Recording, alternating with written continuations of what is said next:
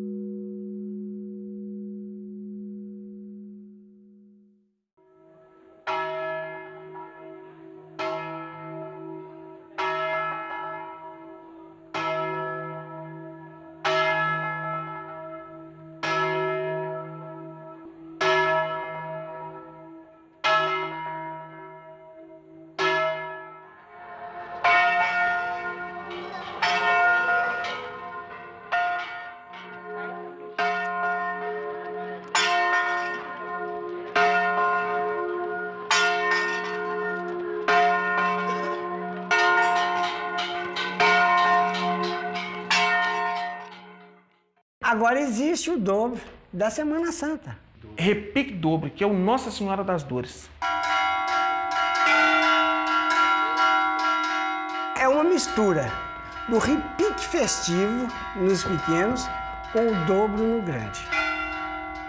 Então, quando os, os pequenos estão repicando, você dá uma badalada, depois dá a segunda badalada, e depois você vai dar sete badaladas seguidas. Esse é o repique dobro de Nossa Senhora das Dores. As sete dores de Nossa Senhora.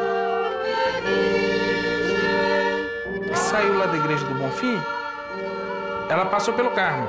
Acabou de tocar no Bonfim, você fica ligado, saiu do Bonfim, o repique dobro. Aí ela vem, o sino aqui para, porque embaixo o coral e a banda vão cantar. O sineiro lá da Igreja do Amparo, na hora que eu começo aqui de novo, ele já fica atento. Acabou de cantar o moteto e vem as imagens. A procissão continua.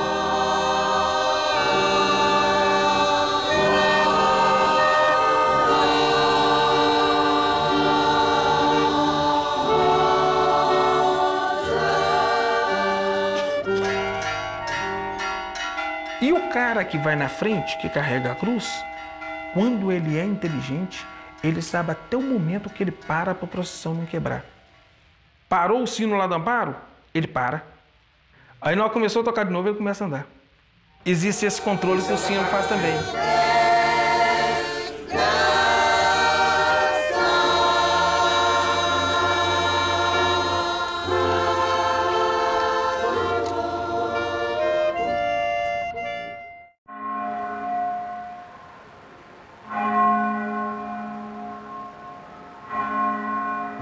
Durante a, a quaresma, cada irmandade no seu dia tradicional, né, em São João del Rei, vai fazer as vias sacras internas.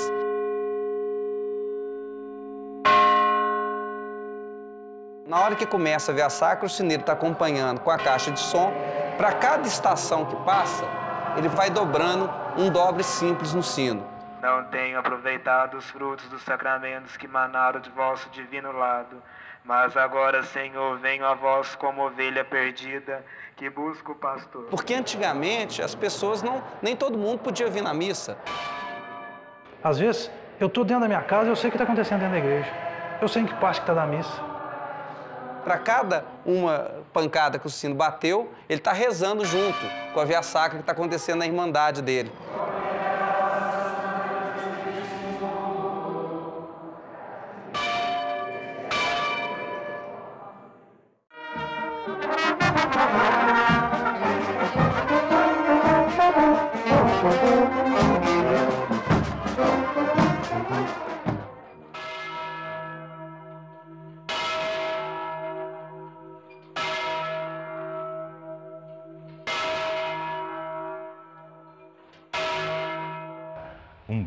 Que nós vimos em Ouro Preto, que é uma maravilha, que é o da Matriz do Pilar, o sino dos passos, né?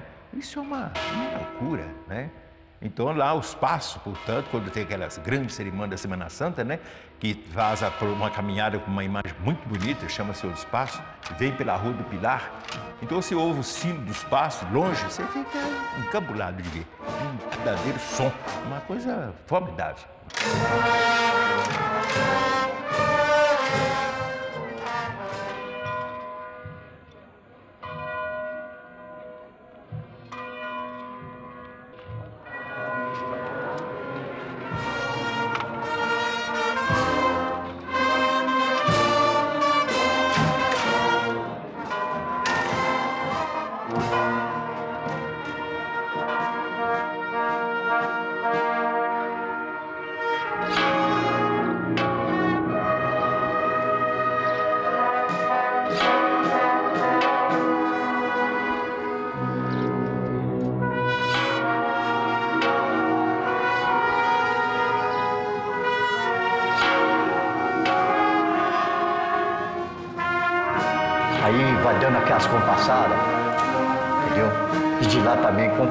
Bem compassada. Tão, tão,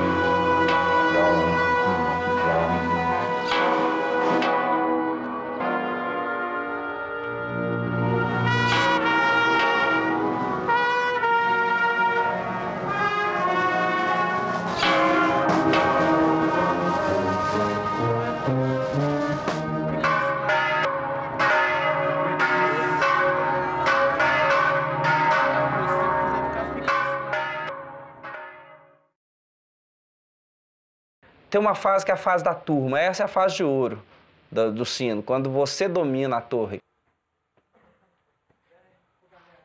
Você vai reinar uns 5, 6 anos plenamente, né? Depois daquilo, cada um vai saindo e quando a turma sai e sobe a nova geração, você é um elemento estranho. Você, a torre tem uma certa linguagem, uma certa cumplicidade das coisas que ocorrem lá. Quando você é um elemento estranho para a geração que, sub, que subiu, está na hora de você buscar o seu time. Não é mais o a torre não é mais o lugar agradável que ela era para você. Combate, é, isso aí isso foi inventado dos sineiros, né? O combate é na festa de Passos, no quarto domingo da quaresma.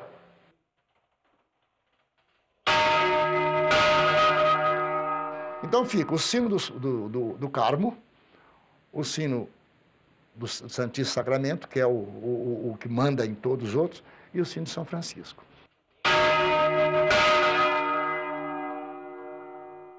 E aquilo vai tocando, compassado, tão, tão, aí o outro, tão, tão.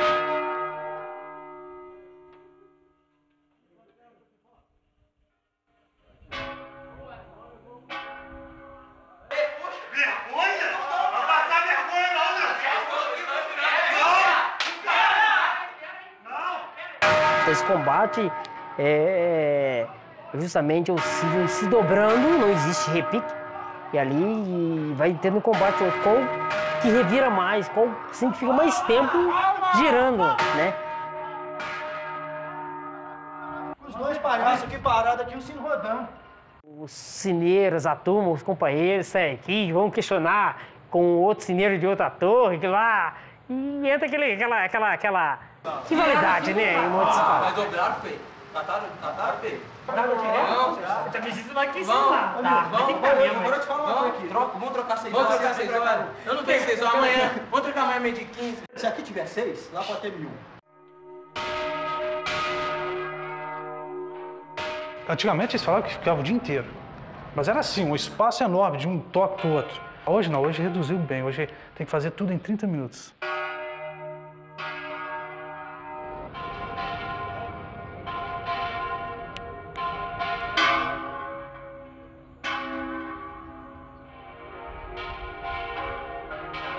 Quando esses dois sinos se, se, se cruzam, como diz o outro, que é os passos da matriz e esse aqui. É uma coisa linda. Coisa mais linda do mundo.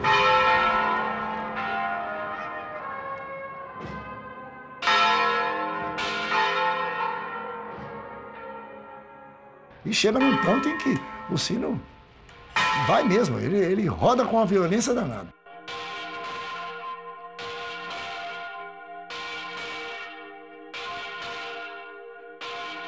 Mas o sino dos passos sempre ele, né?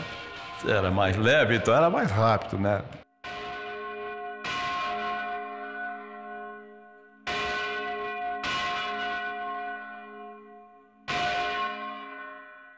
Então a gente postava. Ah, vamos postar uma caixa de cerveja aí?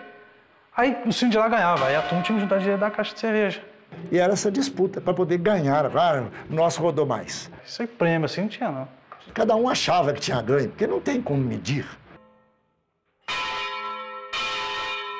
Então sempre existiu essa, essa mera tradição entre as três igrejas, esse combate todo espaço.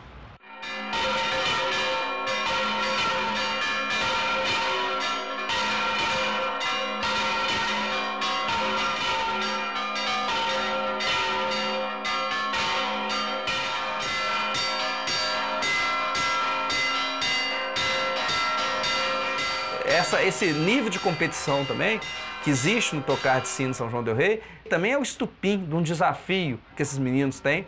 Diversos desafios. Para catar é um desafio, para dupla de dobrar é um desafio. Próprio do esporte, né? Como é o futebol, só que aqui em São João tem sino. É, na Quinta-feira Santa, no Glória, na, na missa da, do Lava Pés, repica o sino só até na hora do glória. Então a pessoa já deixou uma matraca preparada no altar. tocou o sino, aí o sino é calado. Eu diria que até o silêncio do sino fala. Pode acontecer o que acontecer, que tudo é silêncio. Não tem jeito. Cala exatamente para depois, com a vigília da Páscoa, ele tocar de maneira bastante festiva. Anunciando a ressurreição de nosso Senhor Jesus Cristo. E hoje, princípio e fim, alfa e ômega. Tem uma zoeirada danada na hora do, do, do romper aleluia.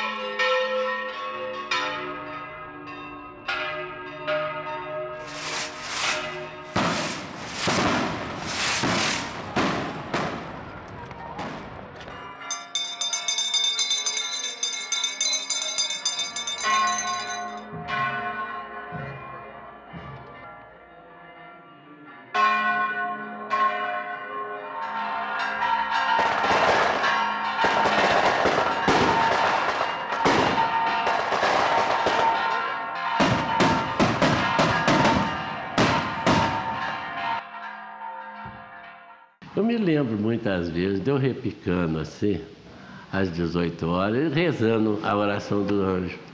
Fala sobre anunciação. O anjo do Senhor anunciou Maria, ela concebeu do Espírito Santo.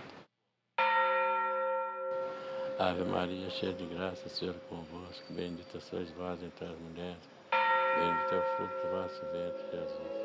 O anjo do Senhor anunciou a Maria e ela concebeu do Espírito Santo. Ave Maria, cheia de graça. Existe hoje um costume que eu acho assim terrível de se colocar um alto-falante na torre e ficar reproduzindo som de sino. Agora e na hora de nossa morte. Amém. Na Catedral Metropolitana, eles colocam é, uma fita com toque de sino, ao invés de, de tocar o sino. Então usam o CD com a gravação de um toque de sino e a gente tem umas gravações até muito bonitas. O anúncio de morte a gente assim coloca o carrilhão mais fúnebre, joga o som para as cornetas, aí depois pega pega o microfone e anuncia. Qualquer um coloca um CD né, e passa aquela informação naquele momento, está na hora da missa, etc, etc. Mas não é qualquer um que toca bem um sino.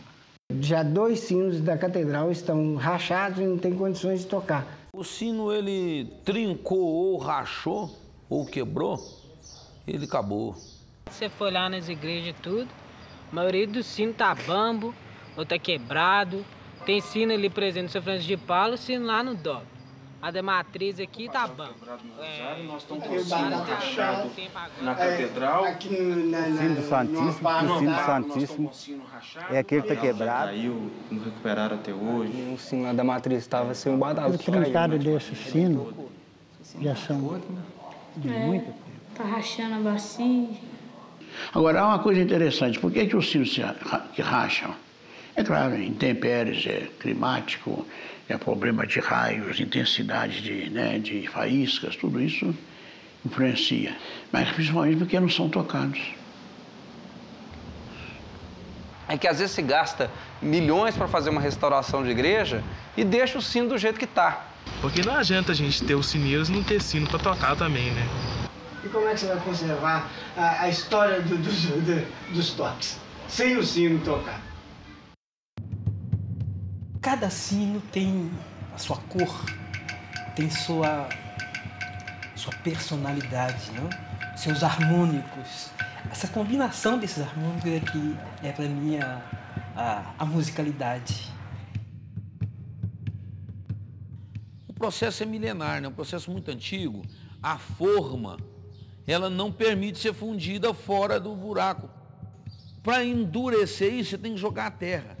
Camadas de 20 centímetros compactando. A forma ela é larga embaixo e vai estreitando em cima. Então, jogando a terra, a terra já está fazendo peso para ela não levantar. Porque se ela levantar, o material vaza por baixo, você perde forma sino e tudo.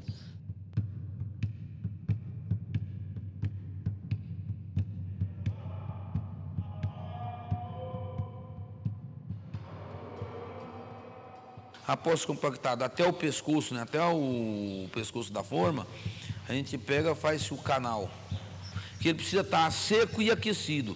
Na hora que o bronze sai em alta caloria, para lá do lado das formas.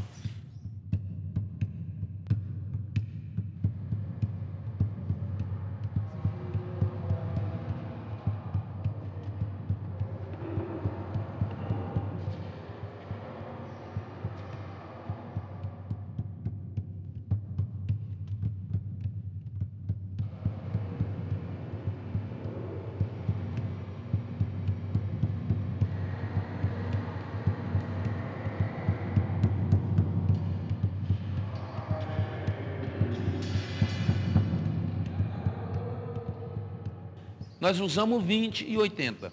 80 de cobre e 20 de estanho. É a liga do sino hoje, aqui no Brasil.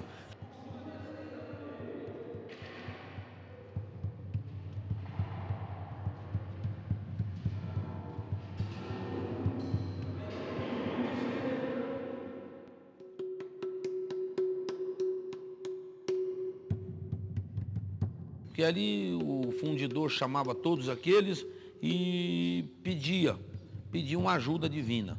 Ninguém se acidentasse, que a fusão corresse bem, porque senão o prejuízo é muito.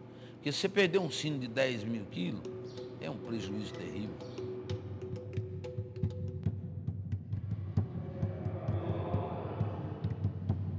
E daí por diante eu só ia abrindo as comportas, questão de um minuto e meio, conto muito, dependendo do número de forma, não chega a dois minutos. Está tudo fundido. O trabalho de um mês você fundiu ou perdeu.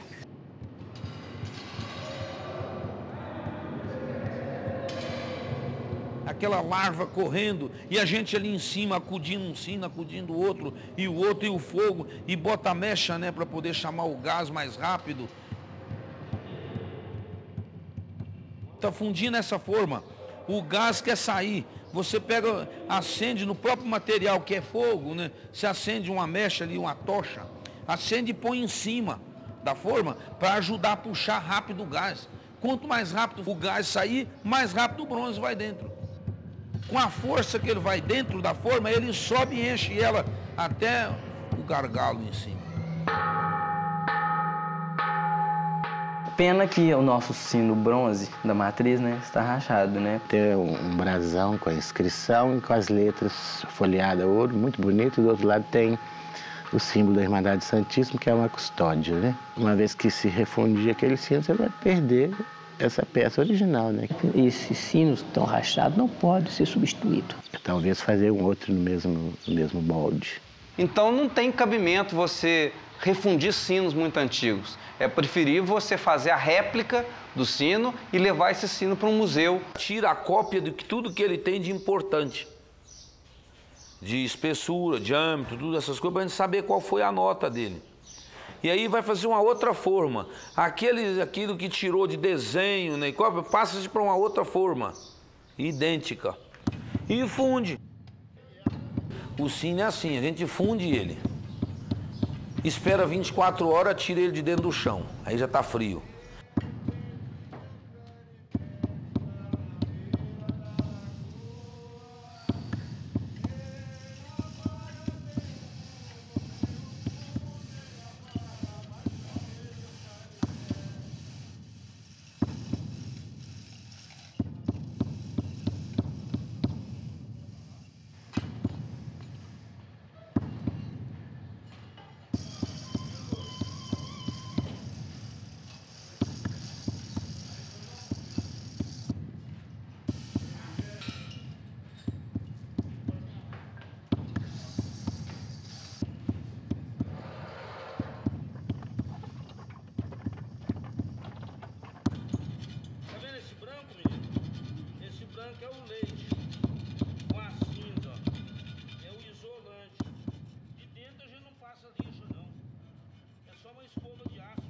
Aquilo é crosta de fusão.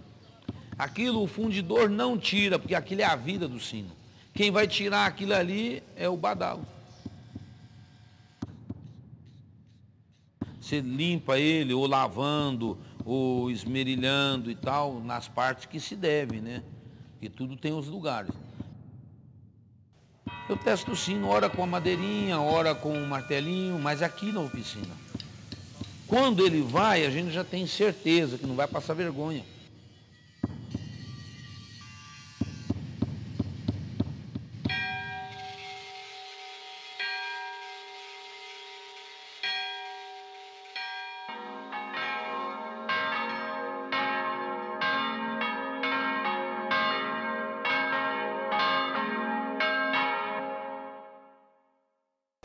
Ficado mais de 200 anos sem nenhum reparo, sem nenhum tipo de manutenção, o cabeçote acabou apodrecendo e o sino teve que ficar parado por isso por mais de quatro anos.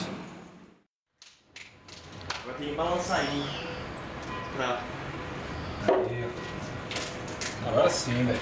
A gente se sente um pouco orgulhoso né, de ter um sino bonito assim, né? Ainda mais agora que ele acabou de ser reformado.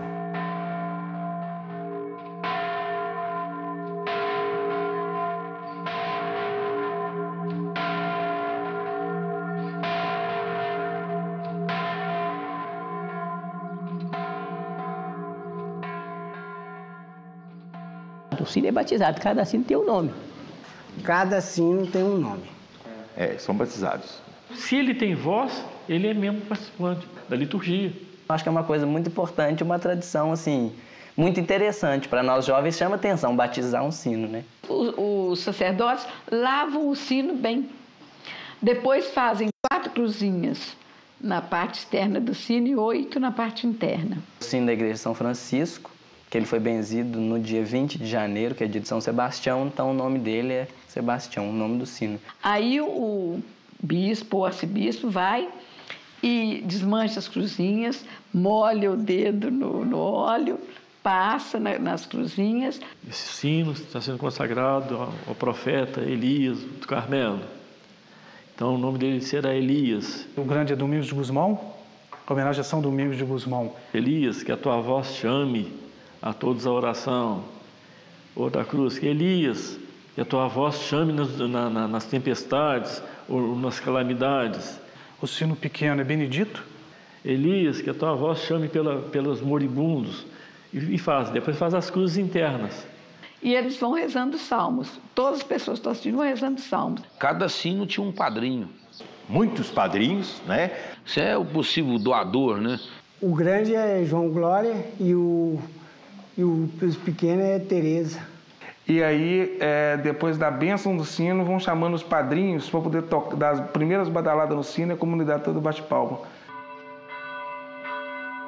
Repicar sino dobrar? Agora que tem essa mulher tocando, não era só, no meu tempo era só homem.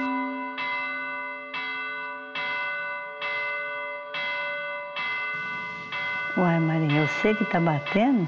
Eu falei, até Antônio me orar, ué, até ele sarar. Diz que no tempo antigo tinha. Tinha essa mulher, mulher ia na torre e ficava. Por exemplo, toquei sim durante 20 anos. E uma amiga minha, já falecida, a Luzia. Na época, Padre Flávio só achava melhor os meninos tocar. Menina não pode. Não pode tocar, não. É lei. É lei, não, é lei isso. Você e sua mãe é muito engraçadinha. Vocês ficam mostrando gracinha lá, que ó, diz que se mulher tocar o sino, o sino vai rachar, hein? O fio de cabelo dessa esbarrasse no sino e arrebentava o sino. Esse foi. Aí eu fiquei meio temerosa. Aí com pouco tempo, o negócio lá vai e quebra. Falei, ai mãe, e não é que é porque nós subimos, não foi, mãe? O sino todos os dias, ao meio-dia e às seis horas da tarde. Ao meio-dia significa o horário da Santa Ceia e às seis horas é o horário dos anjos. Aqui em Diamantina sempre correu com mulher que toca sino em casa. Eles falam pra gente é que se você é uma cineira, mulher, que você não é bem sucedida em casa, em relação aos seus pais, que você não tem um namorado fiel, Aí se você tá noiva, se você vai terminar o noivado próximo. Eles ficavam enciumados, falavam que não é serviço de mulher, não. Isso é homem que tem que tocar sino. Eles achavam ruim, achavam bom não. Ela não aguenta. Não aguenta, não. Ela ah, meu filho, não, nós somos as mulheres, estão tomando direito dos homens agora também. Uai. Não, faz bobear, não.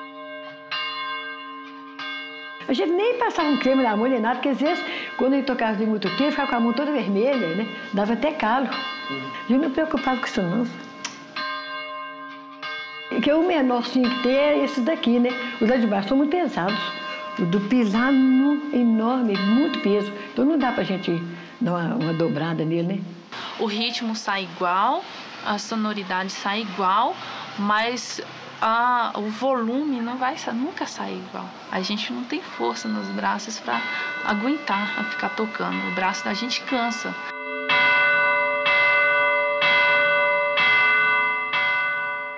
Eu me sinto mais importante. Principalmente quando tem algum homem olhando.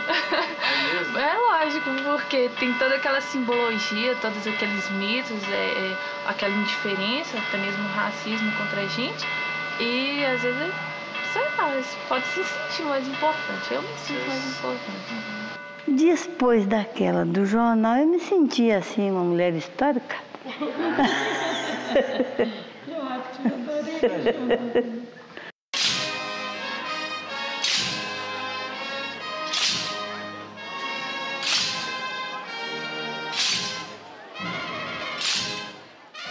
É o centurião da guarda romana de Diamantina ele era um negro. Geralmente são pessoas de, de cor que saem na guarda romana. E a, a guarda romana pertence à Ordem Terceira de Nossa Senhora do Carmo. Agora, a Ordem Terceira de Nossa Senhora do Carmo é a Ordem dos Brancos Ricos. Um do, uma das regras dessa irmandade é que não poderia entrar naquela irmandade mouros, judeus, africanos e descendentes, porque eram considerados raças infectas. E aconteceu de falecer o chefe da guarda romana aqui Então imagina só, quando morreu o centurião da guarda romana, O sacristão subiu na torre da igreja e deu o dobro para o chefe da guarda romana que tinha havia falecido. algumas irmãs subiram com balde, com bacias de água, lavaram o sino. Porque tocou para esse, guarda que, que havia falecido. Porque o sino tocou para um negro. Alguns toques são canônicos, né? Claro que a Igreja Católica se apropria de uma forma assim muito inteira dessa linguagem. Mas a gente não pode negar também que esses empregados dessas igrejas muitas vezes eram negros e mulatos. Qual era a linguagem que eles tinham? Era a linguagem dos terreiros, a linguagem afro-brasileira. Então, o que, que vai acontecer? Eles vão fazer um sincretismo. Você vê que uma das formas tradicionais da comunicação na África são os tambores e também o agogô. O agogô é o gan, que é um sino. Muitos antigos falam, o tencão festivo foi tirado da capoeira. As células rítmicas são muito parecidas. Ele lembra um bocado mesmo. Pim, pão, tic-pão, tic-pão, tic-pão, né? Mas eu pude ver sinos em toda a parte do mundo, no Japão, na Índia, aonde a Igreja Católica está presente, mas não com essa forma tão, tão incisiva. Então, acho que o sino ele ultrapassa essa, esses limites impostos pela Igreja Católica Apostólica.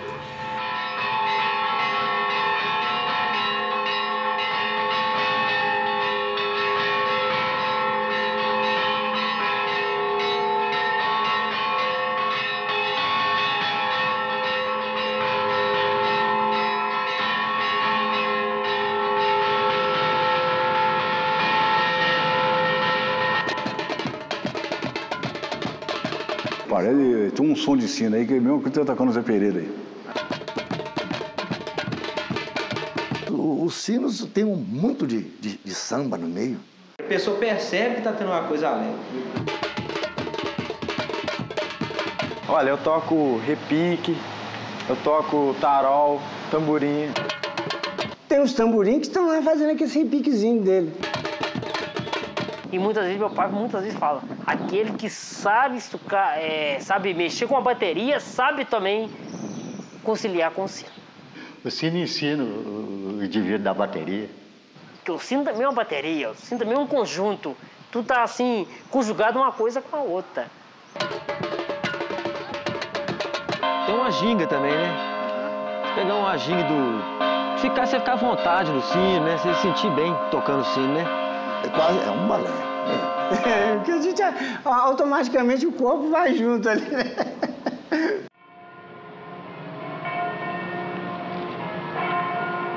Especialmente eu já toquei. O Papa que morreu.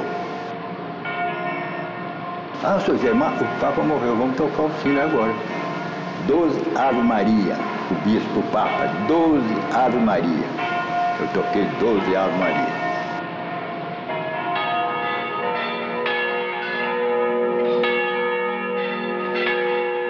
O sino tocou desde quatro e meia até quase nove horas, né, aqui na catedral, porque tem quatro irmandades e cada um tem que tocar 14 vezes, né, aquele toquezinho. Então acabou uma irmandade, pegou o sino da outra irmandade, fora os outros que tocaram todas as igrejas, né? Todas as igrejas de Mariana tocam os sinos fúnebres durante o tempo que o Papa ainda está em câmara ardente ou sobre a terra.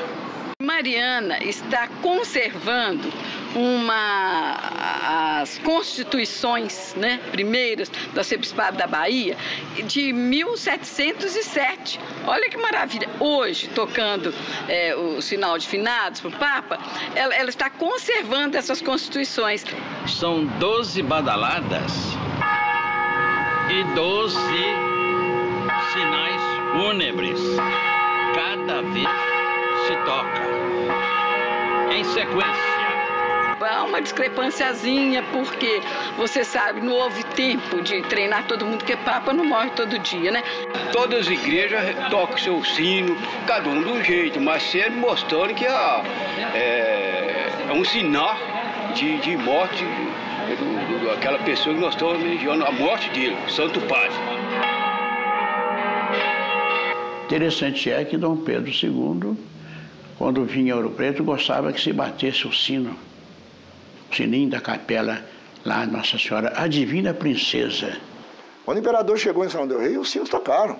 Quando Tancredo foi eleito, é evidente, o cara é São Joanense. Ouro Preto tem um sino muito famoso, né, de 1750, o sino legueiro do Padre Faria. Quando o Tiradentes foi enforcar no Rio de Janeiro, aquele sino é que anunciou a morte dele aqui. Sem saber quem tocou deste ser, né? Uma coisa que ninguém sabe até hoje. Tá vendo? Aquele sino que foi para Brasília, ele tocou na inauguração. Foi um sineiro de ouro preto, já morreu. O sineiro era formidável. Tem, tem, Amador. Ele era um cineiro de mão cheia, viu? Parecia que é a alma dele que tocava sino. Quando ele chegou e contando aquela solenidade tão linda. Aí o amador estava lá, só aguardando. Aí quando deu as 10 horas da noite, que ele pegou, que anunciou a inauguração de Brasília, ele dobrou o sino, aquela luz tudo acendeu. Foi também para ser tocado lá na, na posta Tancredo Neves. Quando ele ia tocar a Liberdade, que foi com Tancredo Neves, ele foi de novo. Mas Tancredo Neves morreu, né? Voltou mudo.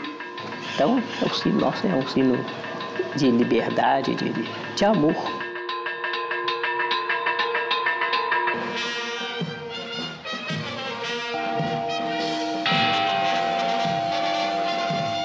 Tocou sim esse sino no dia que nós chegamos com as imagens que foi roubada aqui. O sino foi todo repicado. Quando nós retornamos com as imagens de Lafayette. Todo repicado, dobrado, o lado cheio de gente. Nós chegamos com as imagens todas. Aqui no Brasil, o único lugar que tem um sino de madeira é São Bartolomeu. Eu não sei afirmar se ele foi construído aqui. Isso não é no meu século. Não. Diz essa história que dos meus avós, que o sino de, de bronze tocava para as festas e para as missas. E o de madeira tocava para atos de falecimento. Isso é para compor a torre e essa tradição de São Bartolomeu.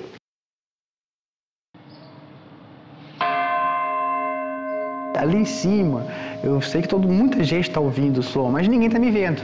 Geralmente o sineiro não aparece. o sineiro é, fica escondido lá em cima mesmo. Mas eu gosto de subir uns dois ou três minutos antes. Eu fico olhando a paisagem. Ali é bom, viu? Dá uma paz de espírito boa. A senhora é morta, a senhora é morta. A senhora é morta num caixão. Dão bem, dão, dão bem. Se uma novena vai começar, um dia antes, 9 horas da noite, se toca o sino anunciando novena que vai começar no outro dia. No dia seguinte, a partir das 6 horas da manhã, é feito novamente como inicia. Então, de hora em hora, a repique é morta.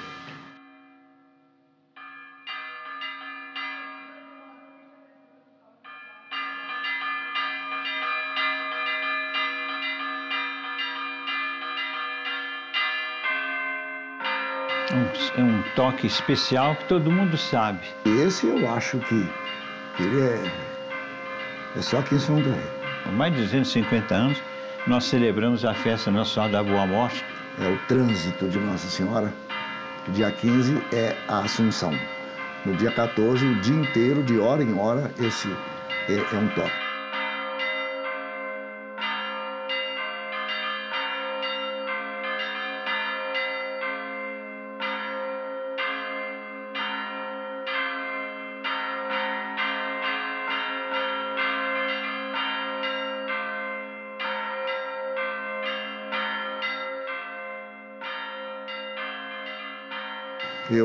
Ouvi dizer que o cineiro tirou isso de uma antífona da novena.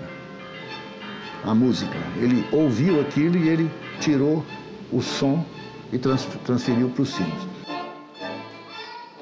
O Padre Zé Maria Xavier, quando escreveu a novena da Boa Morte, ele escreveu em 1855. Ele escreveu uma chamada Abertura para o Dia 14. Essa abertura ao motivo do toque de sinos.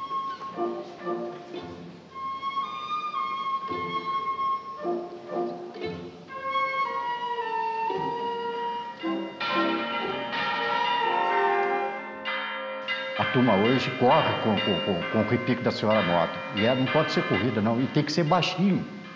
Tum, tem, tum, tum, tem, tum, tum, tem, tum. Quanto mais baixinho, mais ela fica mais linda ainda.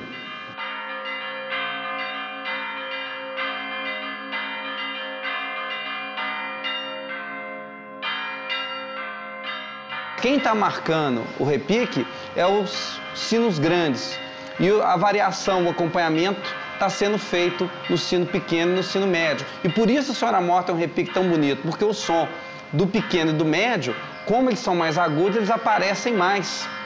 Os floreios de variação rítmica. É bonito. O meu, o mais bonito que eu acho deles é a Senhora Morta. Talvez é o mais musical de todos os repiques. Esse toque de Senhora Morta é um toque que nobrece a gente, um toque assim de recolhimento, melindrosa, uma coisa melodiosa. É uma coisa que, que, fa, é, que faz nós mesmos parar e pensar. Uma coisa que toca no fundo do nosso coração.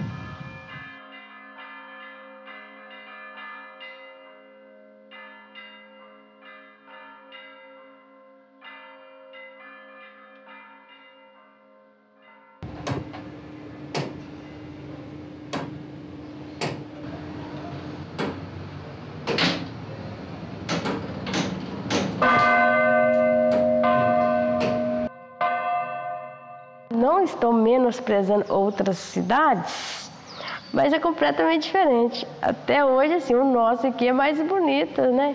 Cada cidade tem o seu sotaque. Por exemplo, o repique que há em São João del Rei, o repique que há em Mariana, talvez não é o mesmo repique que há em Ouro Preto, pela forma do to o tocador. Como eram escravos, ex-escravos, essa tradição vem de etnias diferentes, são linguagens diferentes, são sotaques diferentes. É uma conversa do sino né, que eles estão fazendo. Chamo esse aqui e os outros respondem. Então o pequenininho tá lá chamando alguma coisa, e o médio tá lá perguntando o que que é. E o grande tá lá respondendo a resposta do médio.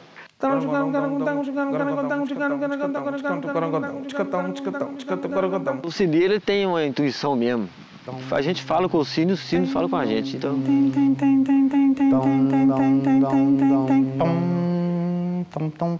Eu acho que a mente da gente passa a ficar com Deus, sim. Acho não, no momento a gente fica com Deus.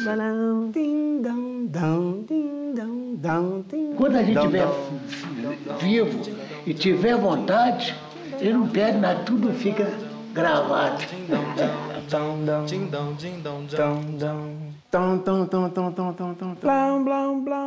Ai, o Nossa Senhora é importante demais. O sino não pode parar de bater, não, de jeito nenhum. E que a gente pode e deve conservar isso, porque é coisa bela a expressão do som, né? Acho que toda pessoa devia ter um sino em casa. Porque a hora que toca, acorda. Tem- É, é bom para acordar. Lá nas Minas Gerais, vocês têm a alma do sino. Tão pouca gente sabe fazer isso que eu acho que aqueles que sabem, eles se sentem muito bem como sineiros. Você está dormindo num lugar, mas num lugar assim do interior, muito calmo, pacato. De repente, de manhã assim, bem cedinho, de madrugadinha, você acorda, você ouve o sino você ver o que, que acontece com você. Você até chora. É uma coisa que mexe com o fígado, que funciona na vida, na nossa máquina, que é a, a nossa natureza, no nosso físico. E o sino mexe com o ouvido.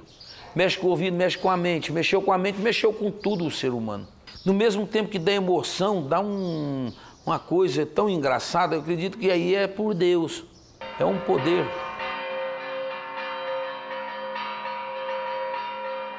É, não sei por que não. Desde quando eu nasci eu gosto sim. Ele tem um som bonito, o corpo dele é bonito, a bacia. Barco foi repique. Tem um gancho que você amarra no badalo e puxa a corda assim e começa a bater. Aí depois é dobrar com repique.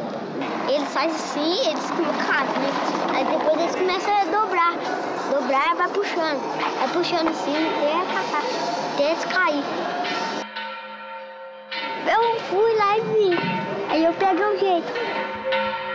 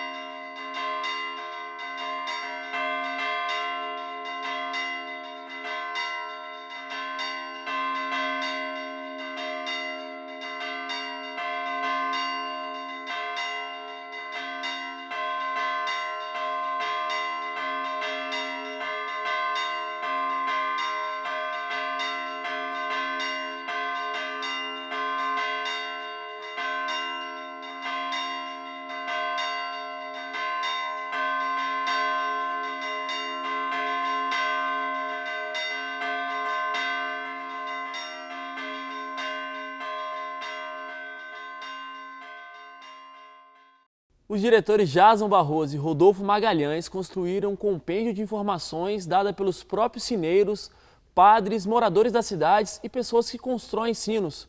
Tudo isso para registrar a importância da manutenção das tradições. E, gente, a gente vai ficando por aqui. Obrigado pela sua companhia mais uma vez e até semana que vem. Tchau!